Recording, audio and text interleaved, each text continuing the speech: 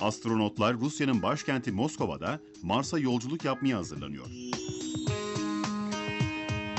6 astronot Rusya'da uzun süreli uzay yolculuklarının fiziki ve psikolojik etkilerini ölçmek için 257 günden beri çelik kapsülün içindeydi.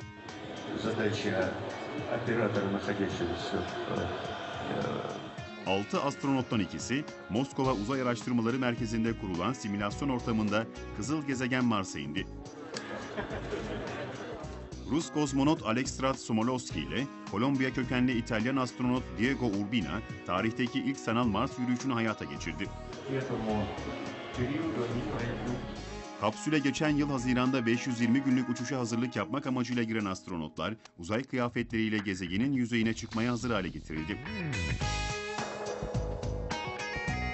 Astronotlar simülasyon çerçevesinde Mars'ın yüzeyinde Rus, Çin ve Avrupa Uzay Ajansı'nın bayrağını dükerek kaya parçacıkları toplayacak ve bilimsel deneyler yapacak.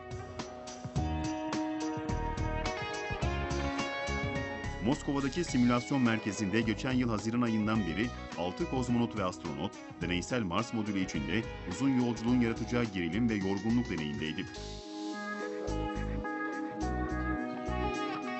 Gerçeğine birebir uygun olmasına çalışılan programdaki Mars yüzeyindeki yürüyüş, Rusya'daki Gerçek Hayat Misyonu Kontrol Merkezi tarafından izleniyor. Deneyin bir buçuk yıl sürmesi planlanıyor.